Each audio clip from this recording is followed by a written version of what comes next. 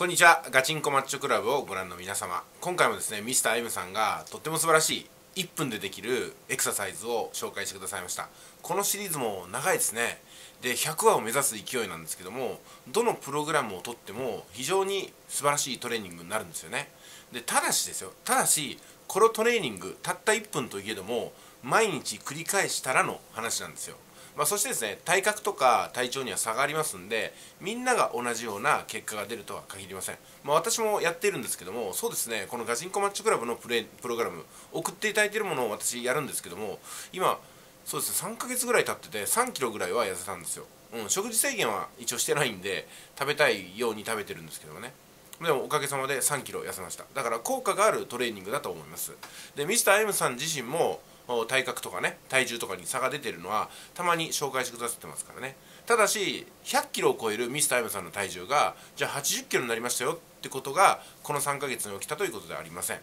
うやって徐々に減っていくものっていうのは今度増えにくいんですよね。ただ一気に痩せたものってやっぱ反動もあるんですよ。これがリバウンドです。ミスター M さんのダイエット方法っていうのはリバウンドの起きにくい1分間エクササイズなのかなと思います。この1分間エクササイズやっぱりね続けてほしいなと思います。さあそれでね今日はアクセスの取り方をちょっとこうこれはね、え、動画を作っている方もしくはこの動画をね作っていきたいなって方にご紹介します。今ミスター M さんは動画の概要欄に、え、特定の URL をご自身のね動画の URL を貼って関連動画に出やすくするという工夫をしてくださいました。その他動画説明欄にタグと言えるキーワードをねいくつか埋め込んでくださってます、え、これがまあ基本になりますよね。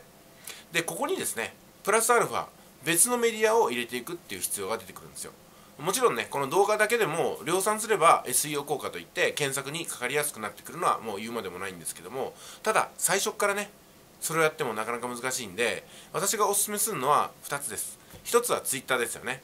動画を作ってアップロードするたびに Twitter が自動的に自分のフォロワーさんに語りかけてくれるようなそんな設定がありますので Twitter も、ま、近い将来視野に入れていただければいいんではないかなと思います。えそしてもう1つは Facebook です。Facebook っていうのは Facebook にログインした人が、まあ、何人かのね、えー、記事を自動的に目に入って見るようになるんですよ。ですから人目に触れる可能性が非常に高いんでこれも近い将来考えていただきたいんですけども Facebook にダイエットキングとかね、えー、ガチンコマッチョクラブとかなんかタイトルをつけて毎日ダイエットの模様を特定の時間に毎日ねアップするようにしていくんですよ。そうするとその動画っていうのはあ見てもらいやすくなります。で見てもらいやすくなるとその動画から別の動画を見るっていうことも起きてくるんですよね。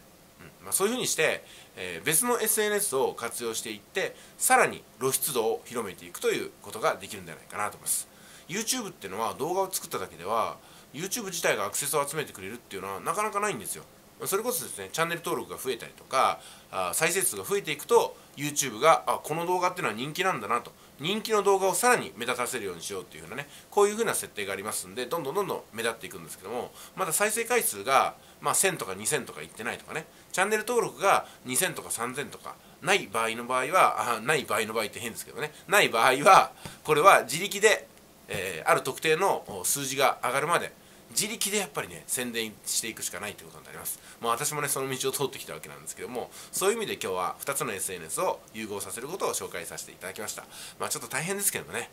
動画撮るだけでも大変なのに他の SNS も活用していかないといけないんで結構大変です。でもそういうレースが YouTube にはあるってこともちょっと知っといていただいて近い将来やってみようかなという気持ちになっていただければ幸いでございます。基本的にはでもね動画をたくさん作ること動画をたくさん作ることが基本になりますんでもうこれだけで突破することもできますんでね、えー、まあ、やってみてください。数がやっぱ他の人もいっぱい動画作ってますんでね。まずは数のレースになると思います。それでは失礼します。